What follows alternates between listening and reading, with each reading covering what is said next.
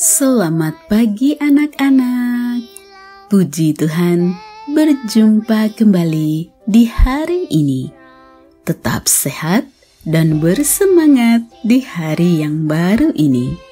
Sebelum memulai aktivitas hari ini, mari mengenal ciptaan Tuhan melalui renungan firman Tuhan pada pagi hari ini yang diambil dari buku Ciptaan Allah yang mengagumkan dan judul renungan firman Tuhan pada pagi hari ini adalah Baxter pulang ke rumah.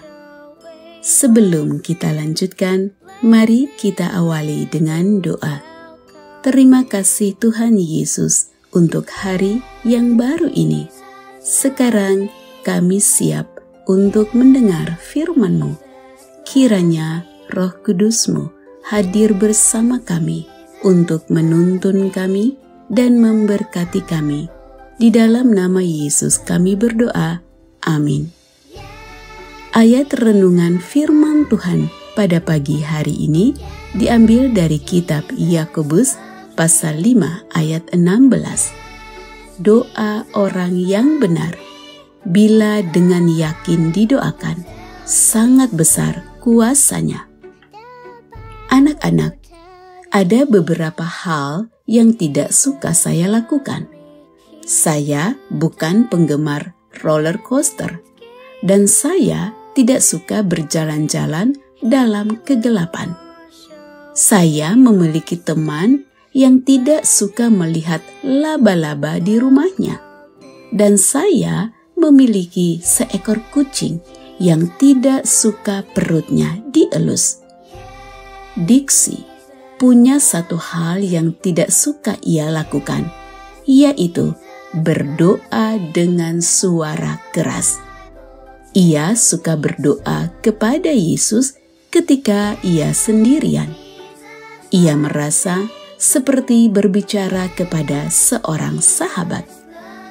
Suatu hari, Diksi sedang berbicara di telepon dengan sahabat baiknya Edith yang sedang sedih. Edith sedang pergi ke rumah sakit untuk dioperasi, tetapi bukan itu yang mengganggunya.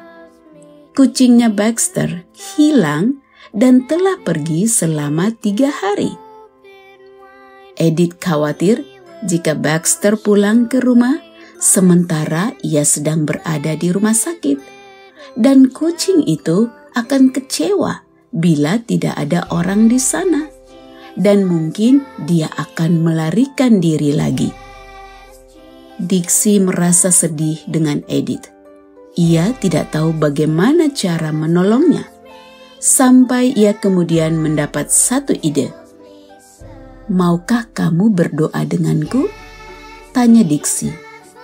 Ia merasa sedikit terkejut karena ia menawarkan sesuatu yang ia takut lakukan.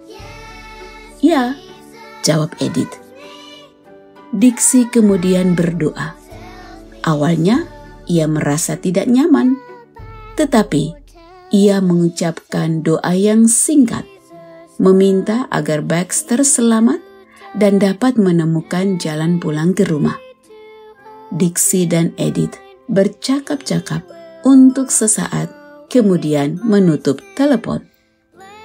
Dalam beberapa jam, Edith kembali menelepon Diksi. Kali ini ia sangat gembira. Tuhan telah mendengar doa Diksi. Baxter telah menemukan jalan pulang ke rumah.